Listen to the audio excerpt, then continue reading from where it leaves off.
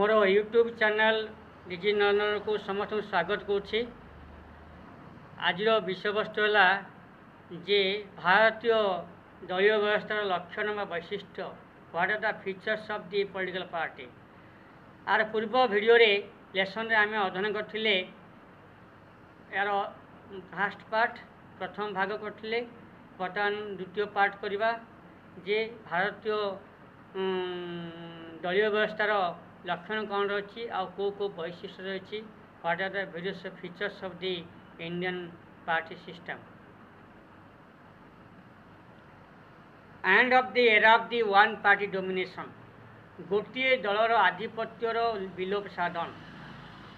ଭାରତୀୟ ଦଳୀୟ ବ୍ୟବସ୍ଥାରେ ଦୀର୍ଘ ଚାରି ଦଶନ୍ଧି ଧରି ବା ଚାଳିଶ ପଇଁଚାଳିଶ ବର୍ଷ ଧରି ଗୋଟିଏ ଦଳର ଆଧିପତ୍ୟ ରହିଆସିଥିଲା। ଭାରତ ସ୍ୱାଧୀନତା ହେବା ପରଠାରୁ ଉଣେଇଶହ ଅଣାନବେ ମସିହା ପର୍ଯ୍ୟନ୍ତ କଂଗ୍ରେସ ଦଳର ଆଧିପତ୍ୟ ରହିଆସିଥିଲା ଉଣେଇଶହ ସତସ୍ତରୀ ନିର୍ବାଚନକୁ ବାଦ ଦେଲେ ସମସ୍ତ ନିର୍ବାଚନ ଗୁଡ଼ିକରେ କେନ୍ଦ୍ର ଉଭୟ ରାଜ୍ୟ ସରକାର ସ୍ତରରେ କଂଗ୍ରେସର କଂଗ୍ରେସ ଦଳର ବା ଭାରତ ଜାତୀୟ କଂଗ୍ରେସର ଆଧିପତ୍ୟ ରହିଆସିଥିଲା। ଏବଂ ଯେତେବେଳେ କି କଂଗ୍ରେସର ସ୍ଥିତି ହ୍ରାସ ପାଇଲା କଂଗ୍ରେସର ପ୍ରଭାବ ହ୍ରାସ ପାଇଲା। ଅନେକ ଦଳ ଭାରତୀୟ ରାଜନୀତିରେ ପ୍ରବେଶ କରିଥିଲେ। ଭାରତର ରାଜନୀତିର ଦିଗ୍ବଳୟରେ ଅନେକ ଦଳ ଆବିର୍ଭାବ ହେଉଥିଲେ। ସେଥିମଧ୍ୟରେ କେତେ ଗୁଡ଼ିଏ ଜାତୀୟ ଦଳ ଆଉ କେତେ ଗୁଡ଼ିଏ ଆଞ୍ଚଳିକ ବା ରାଜ୍ୟ ଦଳଗୁଡ଼ିକ ପ୍ରତୀୟମାନ ହେଉଥିଲେ ଭାରତୀୟ ରାଜନୈତିକ ଦିଗ୍ବଳୟରେ ଉଣେଇଶହ ଅଣାନବେ ମସିହା ପରେ ବା ଉଣେଇଶହ ଅଣାନବେ ମସିହା ପରଠାରୁ ଉଣେଇଶହ ଉଣେଇଶହ ଅଣାନବେ ମସିହା ପରଠାରୁ ଦୁଇ ହଜାର ନଅ ମସିହା ପର୍ଯ୍ୟନ୍ତ ଦୁଇ ହଜାର ନଅ ମସିହା ପର୍ଯ୍ୟନ୍ତ ଏଇ ଯେଉଁ ସାଧାରଣ ନିର୍ବାଚନ ବିଭିନ୍ନ ରାଜ୍ୟ ନିର୍ବାଚନରେ ଅନେକ ଦଳର ପ୍ରଭାବ ରହିଥିଲା କଂଗ୍ରେସର ପ୍ରଭାବ ହ୍ରାସ ପାଇଥିଲା ଯଦିଓ କଂଗ୍ରେସ ନେତୃତ୍ୱରେ ୟୁ ପି ଏ ମେଣ୍ଟ ଦୁଇ ହଜାର ଚାରି ଏବଂ ଦୁଇ ହଜାର ନଅ ନିର୍ବାଚନରେ କେନ୍ଦ୍ରରେ ଶାସନ କରିଥିଲା ତା ସହିତ କେତେକ ରାଜ୍ୟରେ ଶାସନ କରିଥିଲା କିନ୍ତୁ ଗୋଟିଏ ଦଳର ଆଧିପତ୍ୟ ରହିନଥିଲା ଏହା ଅନେକ ଦଳର ସହଯୋଗରେ ମେଣ୍ଟ କରି କଂଗ୍ରେସ ନେତୃତ୍ୱରେ ଶାସନ ପରିଚାଳିତ ହେଉଥିଲା।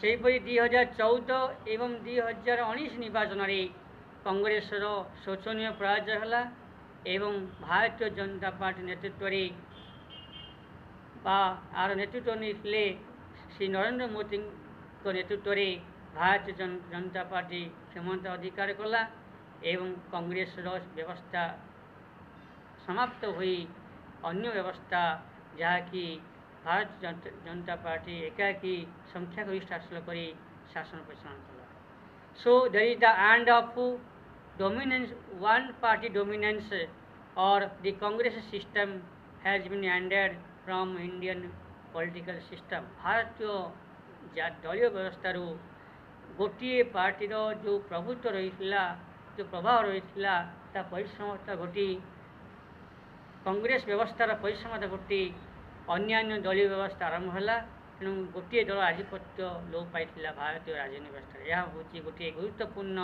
ବୈଶିଷ୍ଟ୍ୟ ଭାରତୀୟ ଦଳୀୟ ବ୍ୟବସ୍ଥାର ଏବଂ ଭାରତୀୟ ଜନତା ପାର୍ଟି ଯାର ନେତୃତ୍ୱ ଶ୍ରୀ ନରେନ୍ଦ୍ର ମୋଦି ନେଇଥିଲେ ସେ ଆହ୍ୱାନ ଦେଇଥିଲେ କଂଗ୍ରେସ ମୁକ୍ତ ଭାରତ କଂଗ୍ରେସର ଶୋଚନୀୟ ପରାଜୟ ସମଗ୍ର ଭାରତରେ କେନ୍ଦ୍ର ଏବଂ ରାଜ୍ୟ ସ୍ତରରେ ହୋଇଥିଲା ଏବଂ କଂଗ୍ରେସର ଏକଛତ୍ରବାଦ ଲୋପ ପାଇଥିଲା ଦ୍ୱିତୀୟ ବା ନେକ୍ସଟ ବା ଷଷ୍ଠ ବୈଶିଷ୍ଟ୍ୟ ହେଲା ହଙ୍ଗ ପାର୍ଲିଆମେଣ୍ଟ ବା ହଙ୍ଗ ପାର୍ଲିଆମେଣ୍ଟ ବା ଝୁଲା ସଂସଦ ବା ଯୁଧା ଝୁଲା ବ୍ୟବସ୍ଥାପିକ ସଭା ବା ଝୁଲା ସଂସଦ ହୋଇଥିଲା ଭାରତୀୟ ଦଳୀୟ ବ୍ୟବସ୍ଥାରେ ବା ଭାରତୀୟ ରାଜନୈତିକ ବ୍ୟବସ୍ଥାରେ ବହୁ ବର୍ଷ ଧରି ଝୁଲା ସଂସଦ ହୋଇଥିଲା ଏବଂ ଉଣେଇଶହ ସତଚାଳିଶ ଠାରୁ ଉଣେଇଶହ ଅଣାନବେ ମସିହା ପର୍ଯ୍ୟନ୍ତ ଉଣେଇଶହ ସତସ୍ତରୀ ଉଣେଇଶହ ଅଣାନବେ ପର୍ଯ୍ୟନ୍ତ ଗୋଟିଏ ଦଳକୁ ବା ଗୋଟିଏ ମେଣ୍ଟଭୁକ୍ତ ଦଳକୁ ସମ୍ପୂର୍ଣ୍ଣ ସଂଖ୍ୟାଗରିଷ୍ଠ ମିଳିଥିଲା ଉଣେଇଶହ ଅଣାନବେ ପରେ ଦୁଇ ହଜାର ନଅ ପର୍ଯ୍ୟନ୍ତ ଦୁଇ ହଜାର ନଅ ସାଧାରଣ ନିର୍ବାଚନ ପର୍ଯ୍ୟନ୍ତ ତାହା ଭାରତୀୟ ରାଜନୀତି ବ୍ୟବସ୍ଥାରେ ଭାରତୀୟ ଦଳୀୟ ବ୍ୟବସ୍ଥାରେ ଝୁଲା ବିଧାନସଭା ବା ଝୁଲା ସଂସଦ ଝୁଲା ପାର୍ଲାମେଣ୍ଟ ଗଠିତ ହୋଇଥିଲା। ଗୋଟିଏ ଦଳକୁ ସଂଖ୍ୟାଗରିଷ୍ଠ ନ ମିଳି ଅନେକ ଦଳ ମିଶି ମେଣ୍ଟଭୁକ୍ତ ହୋଇ কেন্দ্রে শাসন বজায় রাখলে।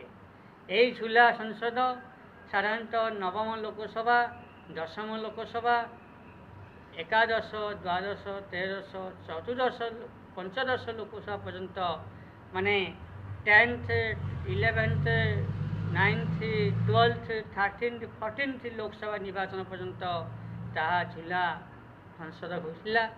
এবং মানে ষোলশ ସିକ୍ସଟିନ୍ଥ ସେଭେଣ୍ଟିନ୍ ଲୋକସଭାରେ ମାନେ ଭାରତୀୟ ଜନତା ପାର୍ଟି ସମ୍ପୂର୍ଣ୍ଣ ସଂଖ୍ୟାଗରିଷ୍ଠ ଗୋଟିଏ ଦଳ ସମ୍ପୂର୍ଣ୍ଣ ସଂଖ୍ୟାଗରିଷ୍ଠ ହାସଲ କରି ଶାସନ କଲା ତେଣୁ ତା ପୂର୍ବରୁ ଯେଉଁ ଉଣେଇଶହ ଅଣାନବେ ମସିହା ଠାରୁ ଦୁଇ ହଜାର ନଅ ମସିହା ପର୍ଯ୍ୟନ୍ତ ସମସ୍ତ ନିର୍ବାଚନରେ ଝୁଲା ସଂସଦ ଥିଲା। ଝୁଲା ସଂସଦ ଆମ ଭାରତୀୟ ଦଳୀୟ ବ୍ୟବସ୍ଥାର ଅନ୍ୟ ଏକ ଲକ୍ଷଣ ଅଟେ ଅନ୍ୟ ଏକ ଗୁରୁତ୍ୱପୂର୍ଣ୍ଣ ବୈଶିଷ୍ଟ୍ୟ ଅଟେ।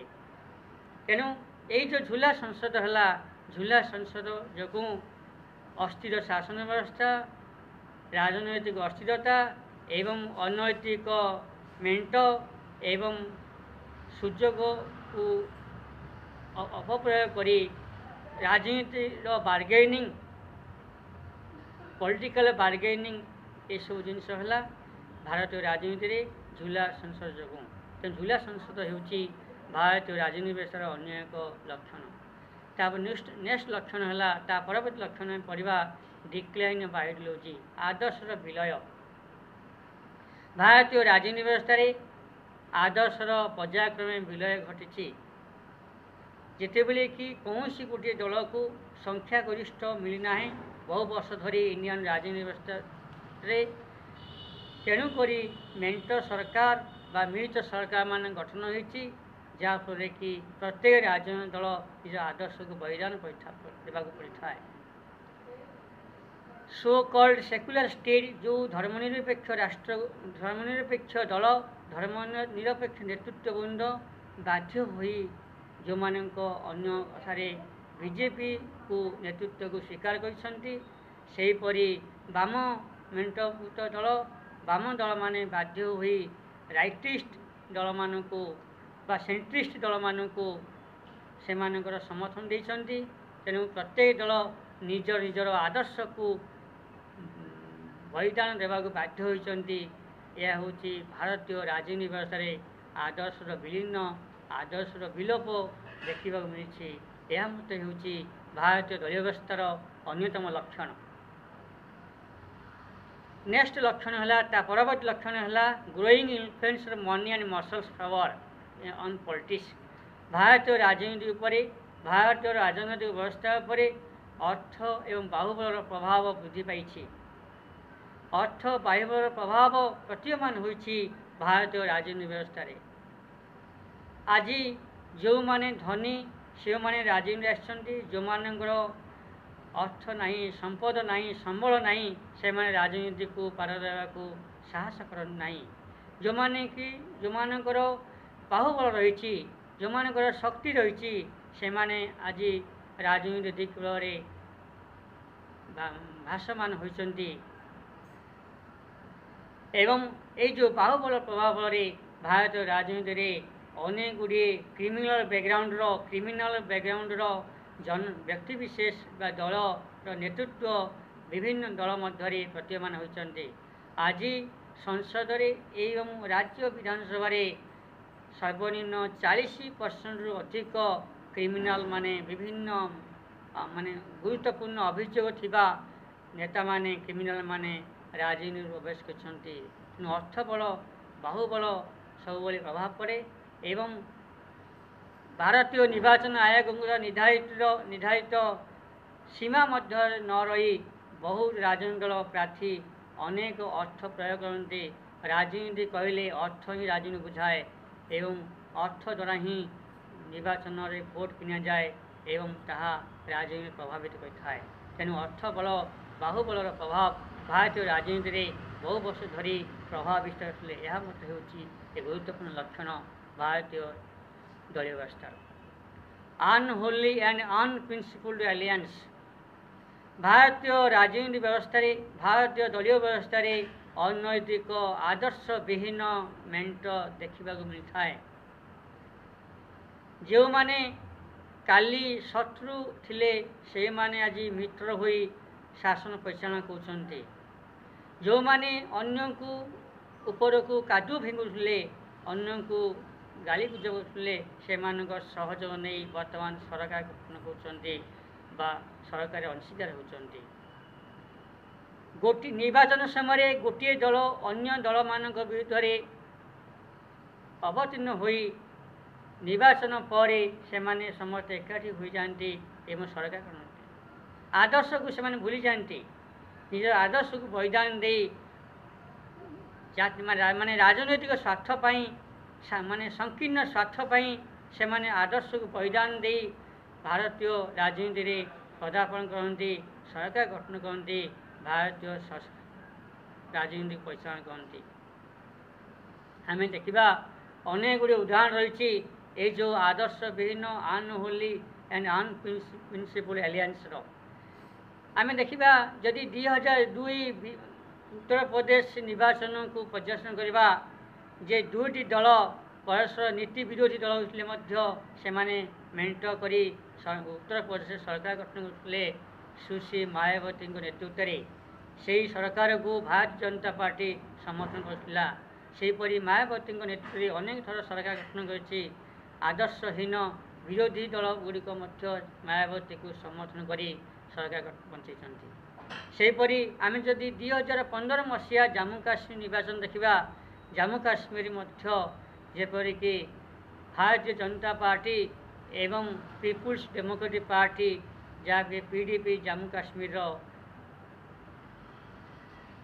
ମୁଫ୍ତି ମହମ୍ମଦ ସଇଦଙ୍କ ନେତୃତ୍ୱରେ ଜାମ୍ମୁ କାଶ୍ମୀର ସରକାର ଗଠନ ହୋଇଥିଲା ଦୁଇ ହଜାର ପନ୍ଦରରେ ତାହାକୁ ସମର୍ଥନ କରିଥିଲେ ଭାରତୀୟ ଜନତା ପାର୍ଟି ଏ ଦୁଇଟା ହେଉଛି ଅନହୋଲି ଆଲାଏନ୍ସ ଏବଂ ଅନପ୍ରିନ୍ସିପଲ୍ ଆଲାଏନ୍ସ ଏବଂ ପିପୁଲ୍ସ ଡେମୋକ୍ରାଟିକ୍ ପାର୍ଟିର ନୀତି ଆଦର୍ଶ ସମ୍ପୂର୍ଣ୍ଣ ରୂପେ ଭାରତୀୟ ଜନତା ପାର୍ଟିର ନୀତି ଆଦର୍ଶ ଅଲଗା ସେମାନଙ୍କ ମତ ସେମାନଙ୍କ ଆଦର୍ଶରେ ଆକାଶ ପାତଳ ପ୍ରଭେଦ ରହିଥାଏ। ପିପୁଲ୍ସ ଡେମୋକ୍ରାଟିକ୍ ଆଲାଏନ୍ସ ବିଚ୍ଛିନ୍ନତାବାଦୀକୁ ସହଯୋଗ କରୁଥିବାର ଅନେକ ସମୟ ନଜିର ରହିଛି। ତଥାପି ରାଜନୈତିକ ସ୍ୱାର୍ଥ ପାଇଁ ଭାରତୀୟ ଜନତା ପାର୍ଟିଙ୍କ ତାଙ୍କୁ ସହଯୋଗ କରିଥିଲେ ଏହା ମଧ୍ୟ ଆନୁହୂଲ୍ୟ ମେଣ୍ଟର ଅନ୍ୟ ଏକ କାରଣ। ସେହିପରି ଆମେ ଯଦି ମହାରାଷ୍ଟ୍ର ଦେଖିବା ଏଇ ଅଳ୍ପ ଦିନ ତଳେ ଦୁଇ ହଜାର ଉଣେଇଶରେ ଯେଉଁ ସରକାର ଗଠନ ହେଲା ସେଠି ମଧ୍ୟ ଆଦର୍ଶକୁ ବଳିଦାନ ଦିଆଯାଇଥିଲା ଦୁଇଟି ବିପରୀତ ଆଦର୍ଶର ଦଳ ପରସ୍ପର ଏକାଠି ହୋଇ ସରକାର ଗଠନ କରିଛନ୍ତି ମହାରାଷ୍ଟ୍ରରେ ତାହା ଥିଲା ଶିବସେନା କଂଗ୍ରେସ ଏବଂ ନ୍ୟାସନାଲିଷ୍ଟ କଂଗ୍ରେସ ତିନୋଟି ପରସ୍ପର ଠାରୁ ଅଲଗା ତିନୋଟି ପରସ୍ପର ଠାରୁ ଶତ୍ରୁ ସେମାନେ ପରସ୍ପର ବିରୁଦ୍ଧରେ ନିର୍ବାଚନରେ ବହୁ ବର୍ଷ ଧରି ଅବତୀର୍ଣ୍ଣ ହୋଇଛନ୍ତି ଆଦର୍ଶ ଅଲଗା ଅଲଗା ତଥାପି ସ୍ୱାର୍ଥ ପାଇଁ ରାଜନୈତିକ ସ୍ୱାର୍ଥ ପାଇଁ ସେମାନେ ଏକାଠି ହୋଇ ମେଣ୍ଟ ଗଠନ କରି ସରକାର ଗଠନ କରିଛନ୍ତି ତେଣୁ ଭାରତୀୟ ରାଜନୀତି ଦଳୀୟ ବ୍ୟବସ୍ଥାରେ ଅନହୋଲି ଅନପ୍ରିନ୍ସିପଲ୍ଡ ପ୍ରିନ୍ସିପଲ୍ଡ ଆଲାଏନ୍ସ ବା ଅନୈତିକ ଅନୈତିକ ଏବଂ ଅସାଧୁ ମେଣ୍ଟ ଗଠନ କରିବାରେ ମୁଖ୍ୟ ଭୂମିକା ଗ୍ରହଣ କରିଛି ଭାରତୀୟ ଦଳୀୟ ବ୍ୟବସ୍ଥାରେ ଏହା ଥିଲା କେତେକ ଲକ୍ଷଣ ଭାରତୀୟ ଦଳୀୟ ବ୍ୟବସ୍ଥାର ଏହି ଭିଡ଼ିଓରେ ମୁଁ କେତେକ କୋଶ୍ଚିନ୍ ଦେଇଛି ପ୍ରଶ୍ନ ଦେଇଛି। ସେଗୁଡ଼ିକ ବିଭିନ୍ନ ପରୀକ୍ଷା ତଥା ବିଶ୍ୱବିଦ୍ୟାଳୟ ପରୀକ୍ଷା ବିଭିନ୍ନ ପ୍ରତିଯୋଗିତା ପରୀକ୍ଷାରେ ସମ୍ଭାବିତ ପ୍ରଶ୍ନ ଆସିଥାଏ ଆସିପାରେ। ତେଣୁ ଏହି ପ୍ରଶ୍ନ ଦେଇଛି। ସେଗୁଡ଼ିକ କେତେ ଗୁଡ଼ିଏ ମଲ୍ଟିପୁଲ୍ ଚଏସ୍ କୋଶ୍ଚିନ୍ସ କେତେ ଗୁଡ଼ିଏ ଗ୍ୟାପ୍ ଫିଲିଂ କୋଶ୍ଚିନ୍ସ ଆଉ କେତେ ଗୁଡ଼ିଏ ୱାନ୍ ୱାନ୍ ସେଣ୍ଟେନ୍ସ କୋଶ୍ଚିନ୍ ଦିଆହେଇଛି ସେଗୁଡ଼ିକ ଅତି ମୂଲ୍ୟବାନ